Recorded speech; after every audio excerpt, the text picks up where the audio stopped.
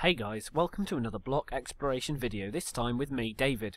I'm going to be explaining all about wolves. Wolves are neutral mobs in Minecraft, introduced in update 1.4. They are found in three different biomes, the forest, the pine forest and the taiga biomes.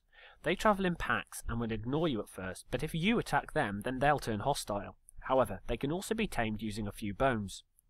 Once the wolf is tamed, a red collar appears and it will follow you around unless you right click on it and tell it to sit. Tamed wolves will attack whatever you're attacking, with the exception of creepers. This makes them a good ally in PvP servers and against monsters. If you travel too far away from the wolf and it's not sitting, it will teleport to you, just like any faithful doggy companion should. Keep an eye on the wolf's tail though, because how high the tail points is an indication of how much health the wolf has. If it has poor or low health, feed it with some meat. This will also put the wolf into breeding mode where hearts come out of its head. As with all other friendly mobs, once two nearby wolves are in breeding mode, they'll come together and poof, a baby wolf will appear. Click up here to go to the video about breeding, and click up on this side to watch the video about ocelots.